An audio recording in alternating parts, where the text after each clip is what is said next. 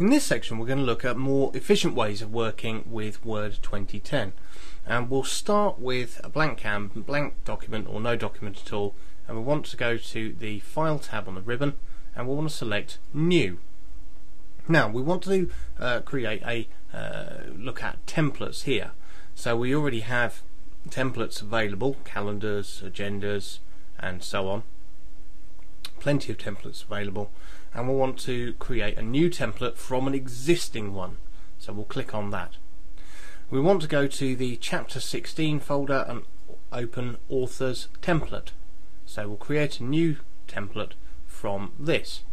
Now here we have uh, our document here. Now let's say for instance we want to go to the page layout uh, tab and change the uh, change the theme of this document.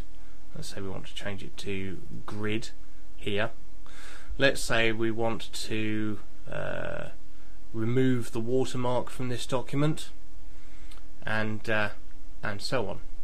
We can now save this as a template. Now we can then use this template um, as a baseline from which to create additional documents. We'll save this here in chapter 15 uh, uh, chapter 16 uh, folder as about the author's modified template. So now we have a modified template with which to uh, create documents from. In the uh, file menu when you go to new uh, you will you'll see the the different templates here. We have your templates where you've got for instance here a cover uh, letter with resume and any uh, some templates that you download from websites including office.com uh, may appear in that folder there. And you can let's say we want to create a, a document from that cover letter with resume then here we have uh, our base template and we can modify uh, modify this to suit our own needs now we'll close that for now. Let's have a look at styles. Now here we have on this text here, we want the home tab here. Um, we have our, our main header here. Title it's called. Now let's say we want to modify this. Let's say we want it to be uh, let's uh, say we're going to change it to Calibri font. We want it to be 36 points. Uh, we want it to be italicized uh, and here we can now save this as a new style. So if we roll over title we can see that we can reset it to that or we can save selection as a new quick style. So we'll call it title italic and we can save that as a new style.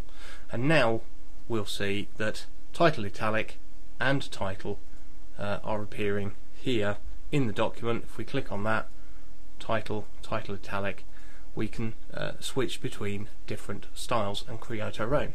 So this is how we can uh, create styles and templates for use within any Word document. Once you've created them, you've created them and they'll always be there. In the next segment, we're going to have a look at uh, changing the default program options in Word 2010.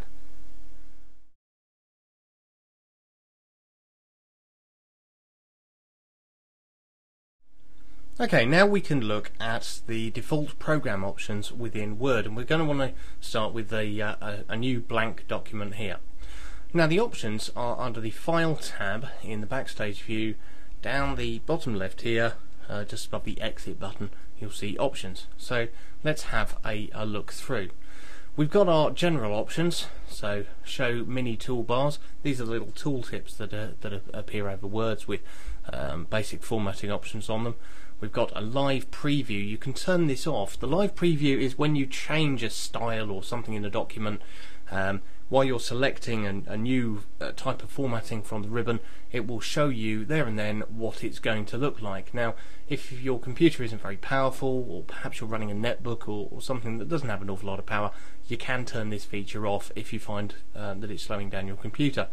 There are three different colour schemes for Word 2010, blue, silver and black, if you didn't know uh, that you can change that. Uh, we'll, we'll change that to black now and there you go, we can see the new colour scheme here.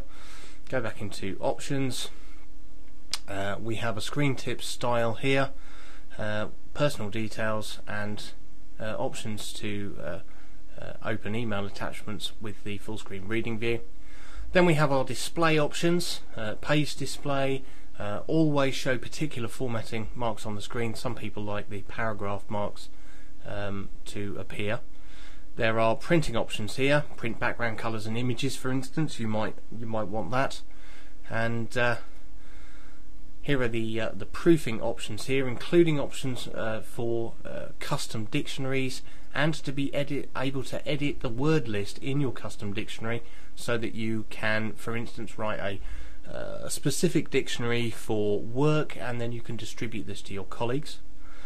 Uh, settings for the grammar and spell checker.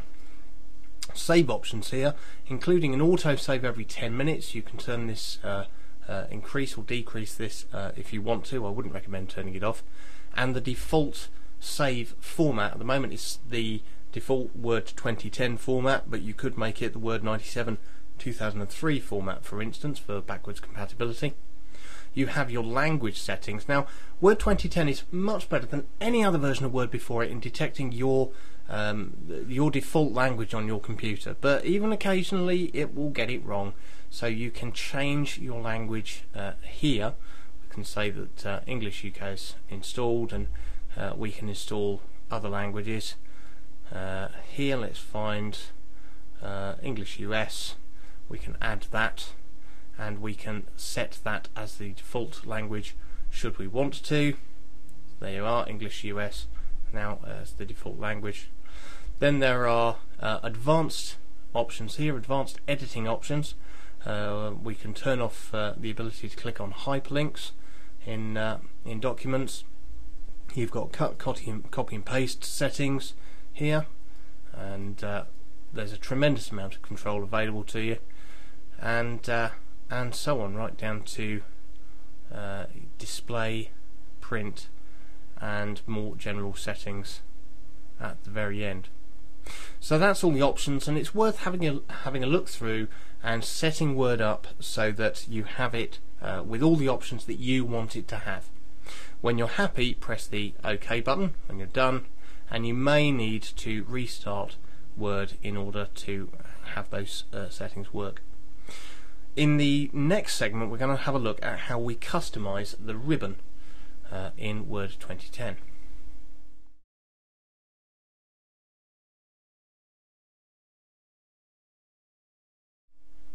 Okay, so now we've looked at the default options and customizing the default options for Word.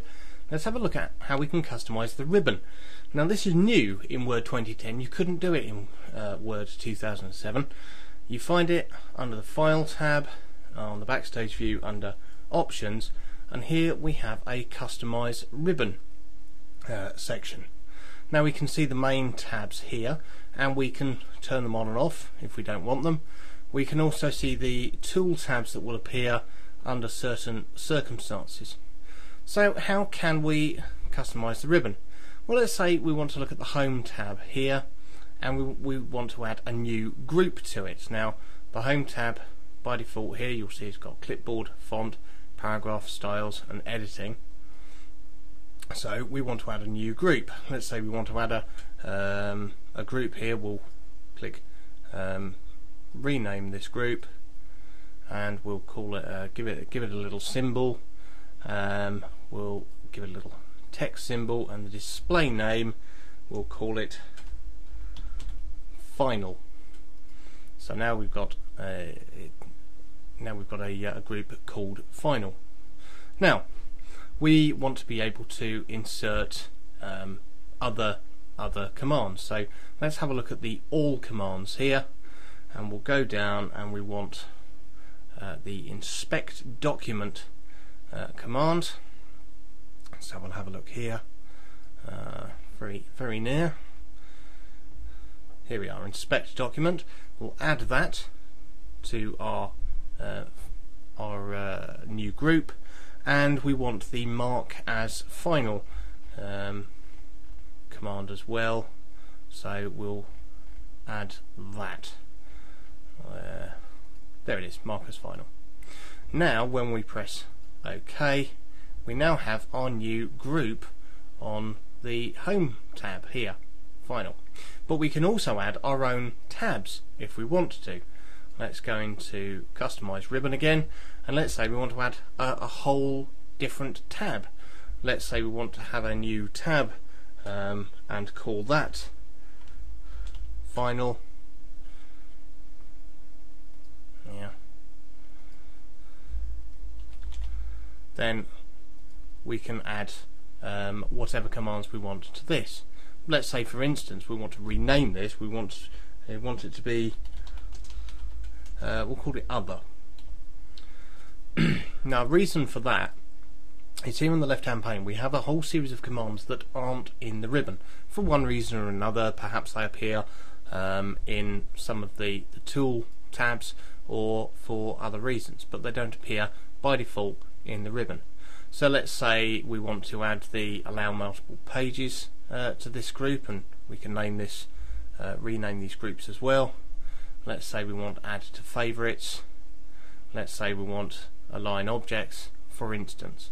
Now when we press OK we have a whole another tab here with our own uh, functions on that will obviously appear they're context sensitive so they'll appear when we can use them and you can uh, take that group and you can move it wherever you want. Let's say we want to move it there after the review tab and so on. We can even get this final uh, custom and we can move that onto our other tab and as we can see here final has now appeared in our other tab and we can customize the ribbon to our heart's content. So that's it for customizing the ribbon. In the next segment we're going to look at customizing the quick access toolbar.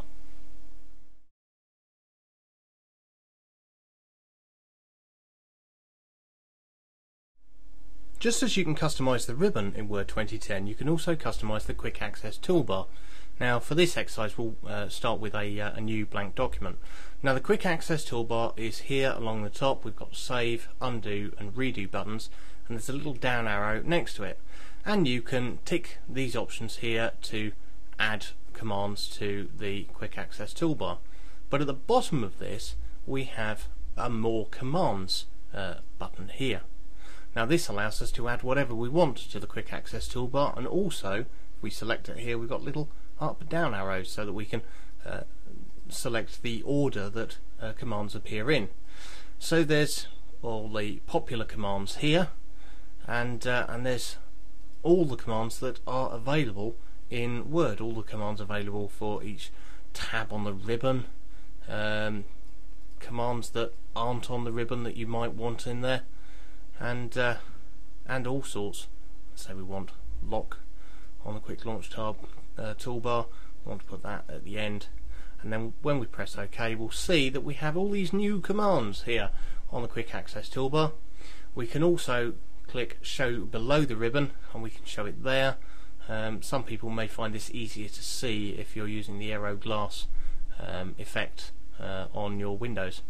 Again, we can show that above the ribbon as well.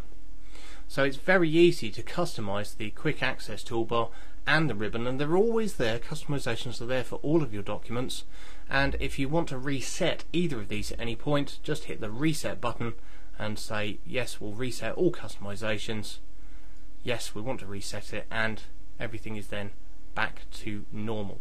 More's the, uh, more's the point here uh, we can import and export customization files for the ribbon and for the quick access toolbar so that uh, we can uh, transfer our custom settings onto other computers with ease and simplicity. So that's it, that's how you do it. Uh, that's all for these videos. I hope you found them informative and uh, thank you for watching.